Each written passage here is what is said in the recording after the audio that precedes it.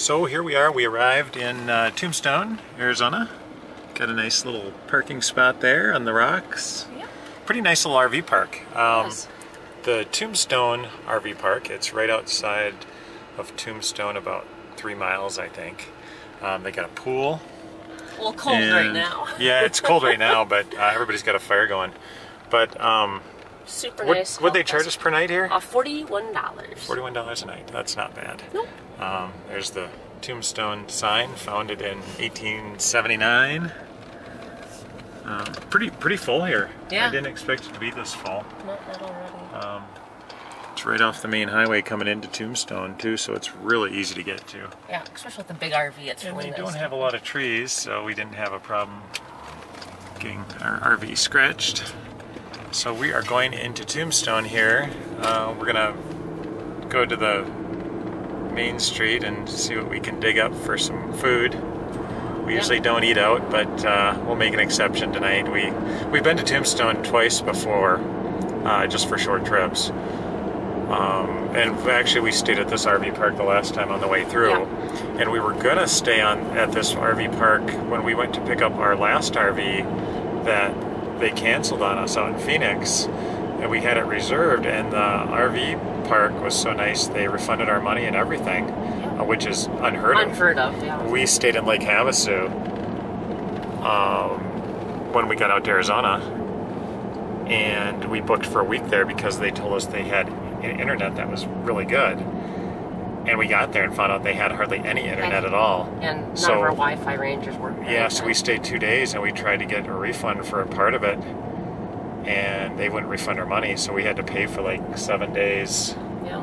Uh, That's, at- that at- was about 120 dollars a day. Yeah, that was a lot too. So we lost almost we lost a thousand dollars, over a thousand dollars because And those lots weren't as nice as this one.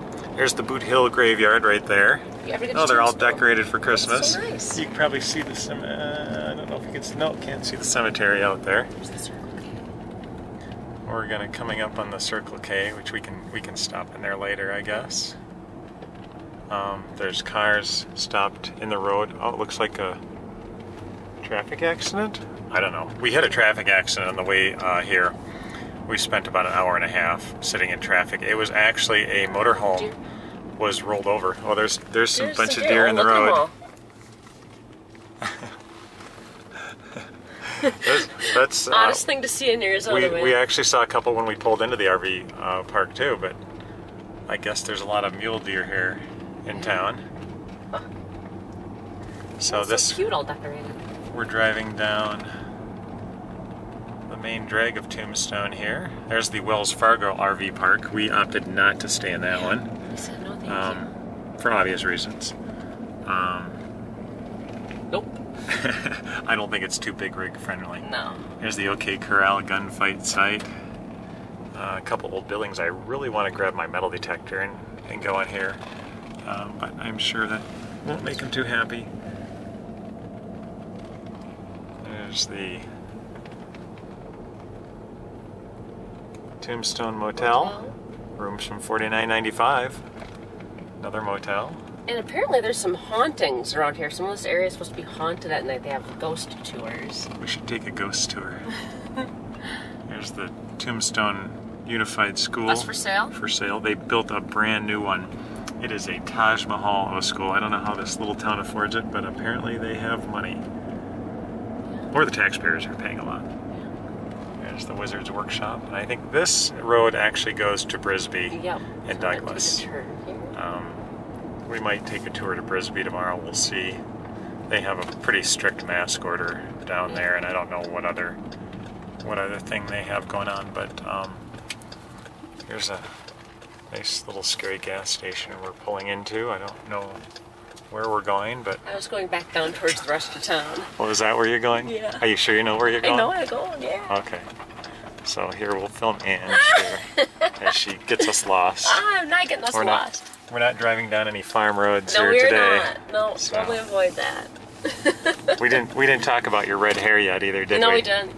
Yeah, she colored her hair red as you can see.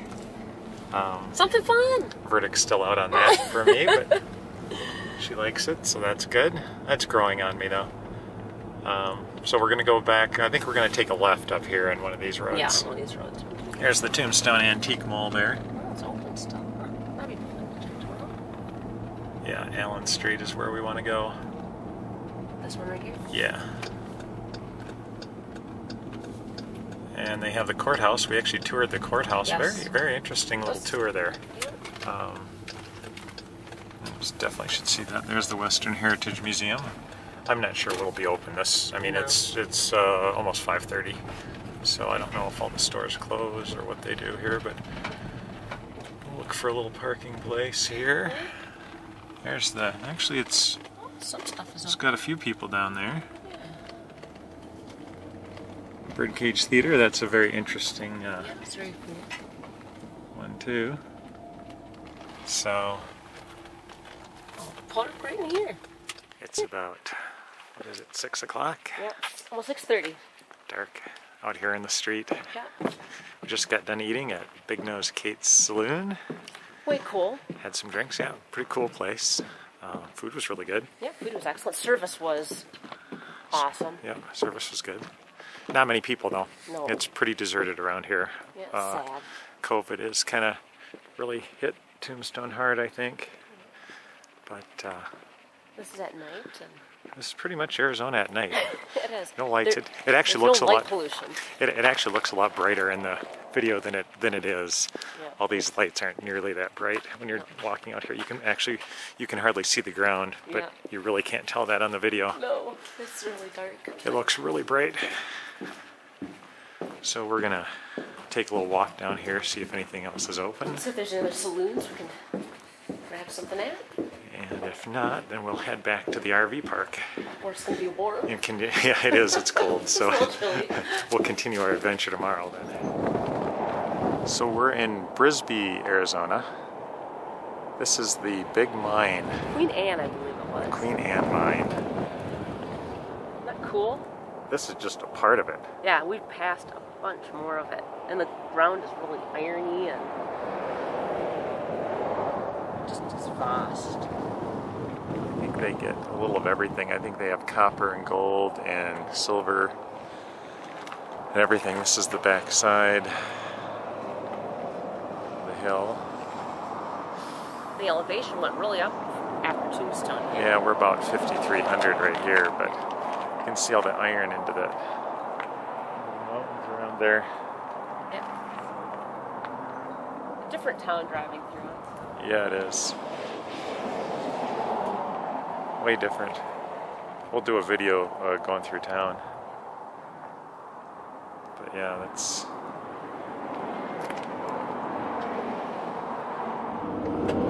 So we're headed back into Bisbee right now, so you can kind of see what that's.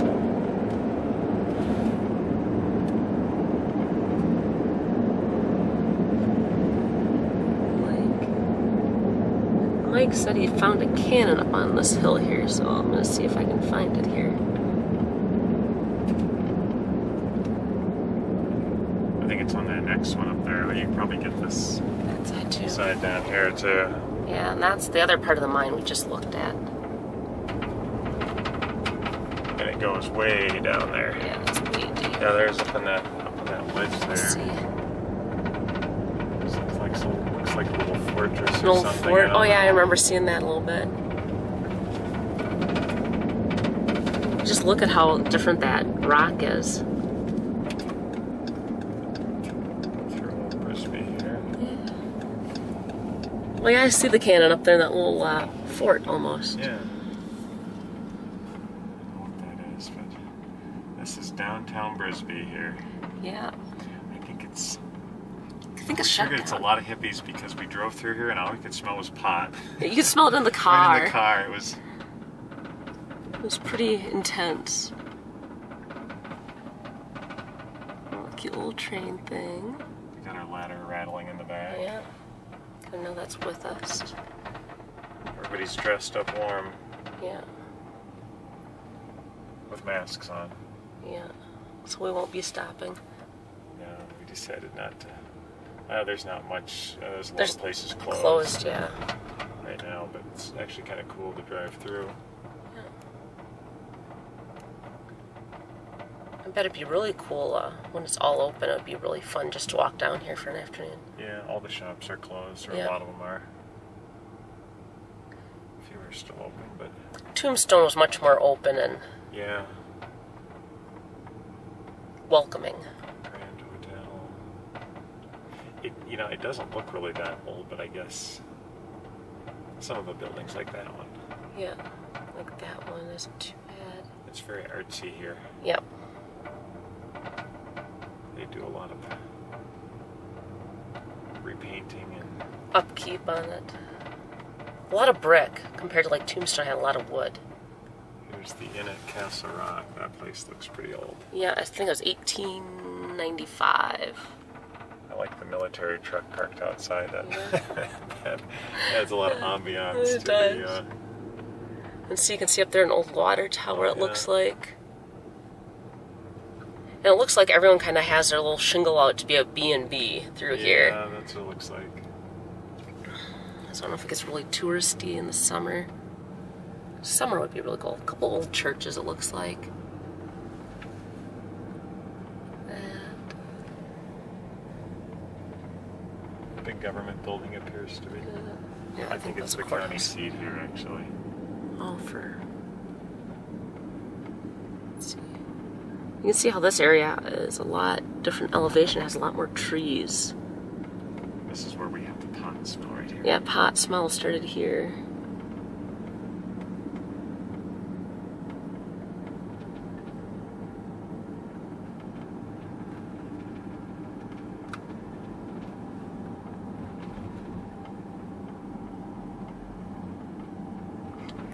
Circle is happening.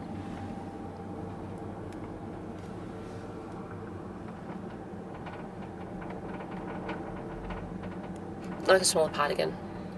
A lot. Oh, yeah. Yeah, I do too. it's all the residential area. Yeah. Yeah. Well, I guess we just sit here and get high. oh my huh? gosh. Contact high. I thought at first I thought it was a skunk, like skunks in the road or something. No, And that I'm was so funny, like, too. "Oh, there's no skunks in here. And once I'm like, nah, I can't be smelling it in the car. Yup. yeah, we even have a cabin air filter in this car. Yeah, that's that's filled with dust, I'm sure, at this it point. should so be clogged up. There Should be shouldn't clogged up anything bad, man. After going to the desert. Nice cell phone tower up there, see? So you get cell service. Yeah, here. I got cell service. Interesting driveway. Oh yeah, oh yeah.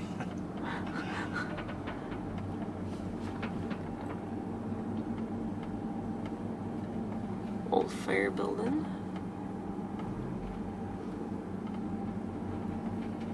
So this is Old Bisbee. A bunch of different water towers throughout the whole town. Well, we got plenty of water storage. Yeah. Huh? Some rough country up here, though. Yeah. Hiking on the on the hills It's and mountains be. Yeah, it's not really desert. I mean, it's there's a lot of vegetation. Yeah.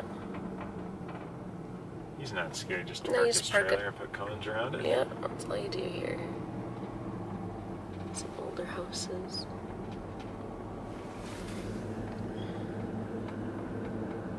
Schoolhouse, yeah. Yeah. Yeah, everybody's got a bed and breakfast here. Yeah, that's why I noticed when I was driving through. I was like, crazy. It's interesting that building's built up over the wash. Oh, it is.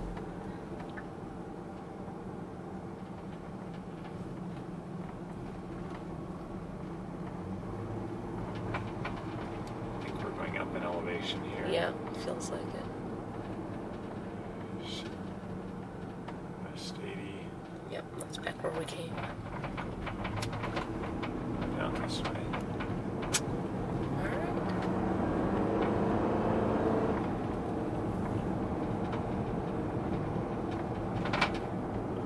Kill. I guess that's about That's it. about it. We'll catch up later. So we left uh, Tombstone this morning, Yep. and we are in Fort Stockton, St- Texas. Texas. And really nice laid out park. Uh, the guy inside was super friendly.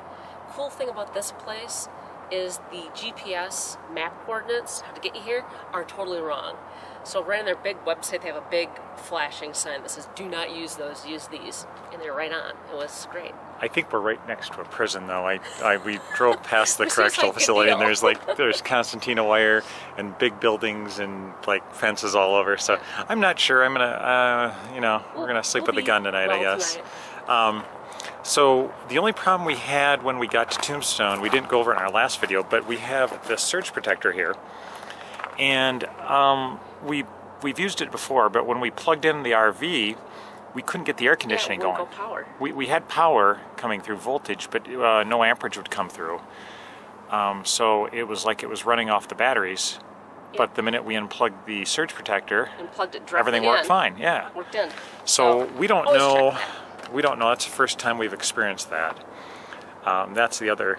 That's the only other thing we came across. Um, we've got our sewer hose hooked up, and we've we route it over the exhaust pipe for the Aqua-Hot because the Aqua-Hot gets so hot that if you have your sewer pipe over it, it's just plastic and it'll melt it. Don't ask us how we know that. um, it's pretty nice here. They've got actual all the all the spots are covered, and it's kind of a concrete rock mixture down here. It's, it's a little bit. It's less dusty. Yeah, So you've you've got your Texas outfit on, Yep. so we fit I- in. I so they blended won't they won't they won't kick us out of here. But um, the check-in was pretty easy. I think it was like thirty-five dollars a night. $35 a night. Um, big big place. Good internet here so far. Yeah, we've got good good AT and T, good T-Mobile. Um, no real problems on the way here, except that we did hit a little bit of a traffic jam, not too long, like five minutes, but it was a truck full of sod. Started on fire. Started on fire. Hopefully, I caught that on tape. so Yeah, we'll we will have that on tape. Um, the only other issue we have is that the seal on the driver's window appears to have broken, so there's moisture inside, so you can't really see out of it very good. Uh, that's been going on for since the trip out here. Yeah. When it got really, really cold, It froze and it must have froze and broke the seal. So that's that's the only real issue we've had. The tire pressure was all good today, so we've got that fixed up. our DEF tank gauge flew all the way down. That's right. The DEF tank gauge um, So wasn't in- working because we filled it up, filled it all up. It's 100%. Then all of a sudden Yeah. we look over, it's down to a quarter. We're like, Yeah. what happened? but it, it keeps going up and down a Yeah, little bit. So I think so- it's it's defective. We'll have to we'll have to get that figured out. as long out. as it don't go below a quarter, we're good. So it doesn't go in red. So. So other than that, uh, we're we're we're staying here for the night. Got the vehicle hooked up, and we're gonna head out tomorrow. Uh, head on the way back to Florida. We got a long day tomorrow, so um, we're looking forward to that. Okay, here we are with our Tiffin tonight. Um, we had a little problem getting the DVD player. All of a sudden, it stopped working on the front TV. So we it worked everywhere else. yeah, we traced it back, and we actually had to rewire this because it was a complete disaster when we got it. But um, the two splitter boxes are here, and this has the DVD player also. So it splits the DVD player to all of the TVs. And of course, if we had a satellite dish or a cable internet, it would split it to all the TVs. So all of a sudden, the front TV stopped working. So we took these cables out here, they're each marked front, mid, rear, switched them around, and we found that the front cable wasn't reading. So we went up, tried to figure out how to get How to get back behind the TV? behind the TV, and the TV is bolted on. You basically have to take the cabinets out. So we got this panel off, and we found that the HDMI splitters. Look at this! Look at this! This this is a lot better than it actually was, but it was a rat's nest in here before. Um, so I'm organizing this whole thing. But these splitters are hooked into powered splitter boxes. Come to find out, the power cable from the splitter box was unhooked. Because it Um, was getting jostled around. Yeah, it was. The roads are so rough today, but there's a uh, there's a power strip way back in there, and one of the plugs was just teetering on it, making it work randomly. So we plugged that in. Now I'm gonna I'm going to get those all bundled up and put the screws back in and we should be good to go. Hey everyone, we made it to Florida. Probably the fastest trip we've ever made from Louisiana here. we did, uh, we ended up uh, driving from Tombstone to Texas. Yep, and we stayed in uh, Fort Stockton, Yep. Texas. And then we drove to Louisiana. We had a RV spot reserved. Picked out, told them how big we were. Yeah, and we, told behind. we didn't get there until much after dark because we hit bad traffic jams all the way. So we got in there, we pulled in there, and Pitch black, no lights. yeah, no lights, couldn't see anything. Get in there, and there's trees on both sides of the of the driveway going in that we didn't see, of course, scratched down the sides of the RV. And there's people parked in there, and we couldn't have even parked in there No, anyway. there's no way this, to This place, yeah, after they told you it was It was fit for a perfectly 20 fine, yeah. or a 45, 45 foot, foot. RV, um, there's no way. So No. we ended up uh, leaving there. leave. Yeah, we got irritated and left. so we, and of course, we haven't got a refund for that. I'm sure we won't. I'm sure they're not going to refund our money. Um, so at that point, we were just, we said that was the, the second bad RV park we've had in In Louisiana. Louisiana. yeah. So we just gave up. We said, you know, let's just drive and maybe we'll find a rest stop on the way. Of course not. And we drove back. Had no rest stops. No rest they were all they were all, All filled full. up. So we ended up driving 24 hours straight and uh, driving back to Florida. Yeah. Just just got here. Um, we're at a Luckily, our resort here. pretty nice RV resort here. Yeah. So resort we're was like I called up. I'm like, you know, they gave us the VIP spot. Yeah, so they did. They let us we, in early. We stayed here before, so they really nice. good. It's actually packed. Yeah, it's really busy. Um, so, but otherwise, you know, no RV. no problems with the RV. The RV has been uh, Flawless. has been excellent. So we didn't have any issues at all. The the DEF fluid gauge did did Stick a little bit when it got stick a little cold. bit, but it came back to normal. Um, It came back to normal when we added again, so that was a good sign. so we got that was a good deal. The Jeep, uh, our new tires seem to have fixed the death wobble Yep, no because wobble. we we were were pulling out pretty quick. Yeah, we, we were taking some pretty hard turns pretty fast just to see what it would happen, and everything handled it. So what we did is we actually went up a size on the tire, and we put off-road tires on it. Had a lot I'm, more I'm absorption thinking and the cushioning of the tires maybe maybe did that. We did have a little problem with the taillights on the on the Jeep not working right, so I've got We'll to look into that. I've got to look into that. So, um, but otherwise, we're gonna probably take a little rest here today and uh, get ready for our next adventure.